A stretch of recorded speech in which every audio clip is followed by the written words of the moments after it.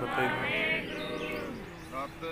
ਅੱਜ ਸ਼੍ਰੀਮਾਨ ਸੰਤ ਬਾਬਾ ਗੁਰਨਾਮ ਸਿੰਘ ਜੀ ਸਤਨਾਮ। ਸੇਵਾ ਸਰਿਆਲੀ ਸਾਹਿਬ ਵਾਲਿਆਂ ਵੱਲੋਂ ਦਸਾਂ ਕੇ ਧੰਨ ਸਤਿਗੁਰੂ ਤੇਗ ਬਹਾਦਰ ਜੀ ਦੇ ਪ੍ਰਾਪਤ ਸਥਾਨ ਵਿਖੇ ਨਵੇਂ ਦਰਬਾਰ ਸਾਹਿਬ ਦਾ ਟੱਪ ਲਾਇਆ ਗਿਆ ਹੈ।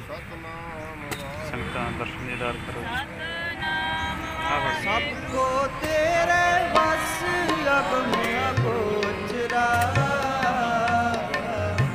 ਸਭ ਕੋ ਤੇਰੇ ਵਸ ਅਗਮ ਅਗੋਚਰਾ। ਤੂੰ ਭਗਤਾਂ ਕੇ ਵਸ, ਭਗਤਾਂ ਨਾਮ ਤੇਰਾ। ਤੂੰ ਭਗਤਾਂ ਕੇ ਵਸ, ਭਗਤਾਂ ਨਾਮ ਤੇਰਾ। ਸਭ ਕੋ ਤੇਰੇ ਵਸ ਅਗਮ ਅਗੋਚਰਾ। ਸਭ ਕੋ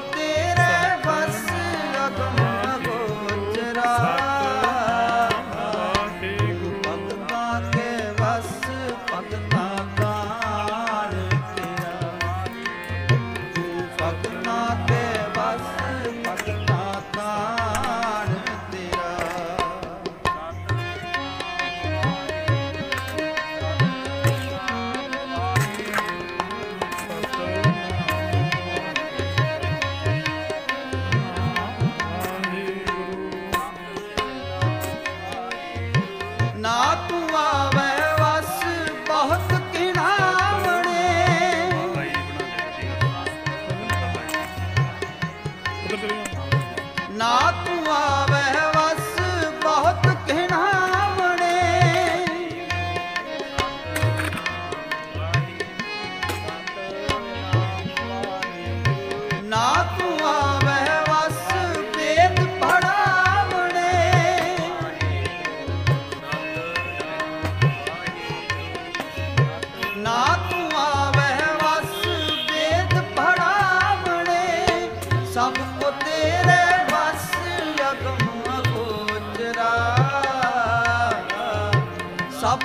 ਤੇਰੇ ਵਸ ਅਗਮ